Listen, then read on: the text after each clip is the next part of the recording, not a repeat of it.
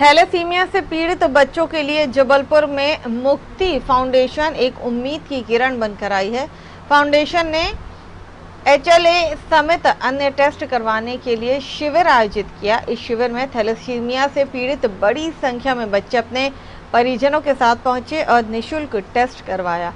आयोजकों का कहना है कि एचएलए टेस्ट करवाने की कीमत बारह हज़ार रुपये होती है और उसकी रिपोर्ट जर्मनी से आती है।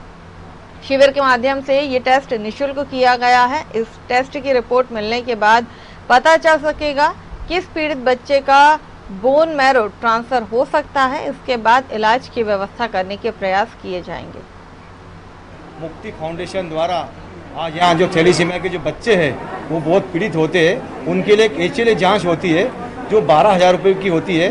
हमारे मुंबई के सुप्रसिद्ध डॉक्टर डॉक्टर सेन और डॉक्टर शर्मा यहाँ उपस्थित हुए, अपना कीमती समय निकाल के पूरे मध्य प्रदेश के लिए बहुत गौरव की बात है ये, कि हमारे लिए मुक्ति फाउंडेशन थैलीसीमिया के बच्चों को इतनी अच्छी मदद करता है, इतनी अच्छी सेवा देता है। पूरे टीम को मैं धन्यवाद देता हूँ।